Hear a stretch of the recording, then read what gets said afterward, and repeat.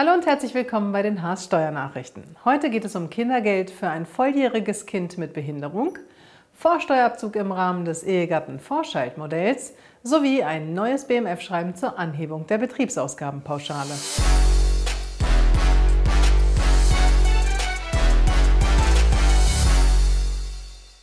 Für ein Kind, das das 18. Lebensjahr vollendet hat, besteht ein Anspruch auf Kindergeld, wenn es wegen seiner Behinderung außerstande ist, sich selbst zu unterhalten. Zu prüfen ist, ob das volljährige Kind mit Behinderung sich selbst unterhalten kann.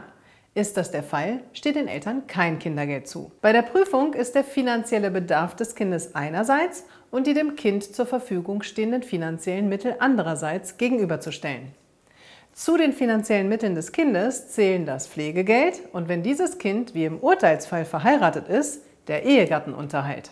Das volljährige Kind mit Behinderung, für die ihre Mutter Kindergeld beantragt hat, war hier mittlerweile eine verheiratete 30-jährige Frau mit Behinderung, nennen wir dieses Kind Theresa. Fraglich war, wie sich der Ehegattenunterhalt und damit die Bezüge von Theresa berechnen.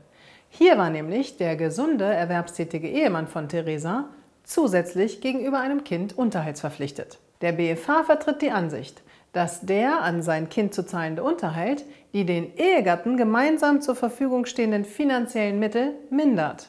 Damit vermindert sich auch die Höhe des Ehegattenunterhalts und letztendlich die Bezüge von Theresa. Decken die dadurch geminderten Bezüge von Theresa nicht ihren errechneten finanziellen Bedarf, steht der Mutter von Theresa ein Anspruch auf Kindergeld zu.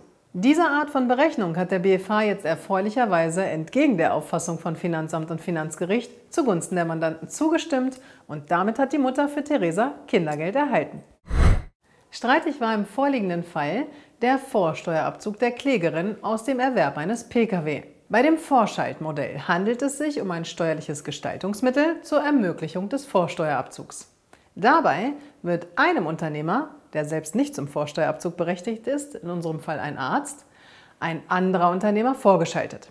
Letzterer erwirbt das Wirtschaftsgut, hier ein Pkw, und verliest ihn steuerpflichtig an den nachgeschalteten Unternehmer. Im Urteilsfall kaufte die Ehefrau ein Pkw. Sie war von ihrem Ehemann finanziell unabhängig. Diesen Pkw überließ sie ihrem als Arzt selbstständig tätigen Ehemann mit Leasingvertrag gegen marktübliches Entgelt zur beruflichen Nutzung. Der BFH entschied jetzt, das geht. Die wirtschaftlich unabhängige Ehefrau kann aus der Anschaffung des Pkw, den sie an ihren freiberuflichen Ehegatten vermietet, den Vorsteuerabzug geltend machen. Aber Achtung für die Praxis. Eine Besteuerung der privaten Verwendung, also die unentgeltliche Wertabgabe für diesen Pkw, durch die Vermieter-Ehefrau an den Ehemann muss im Urteilsfall aber noch nachgeholt werden.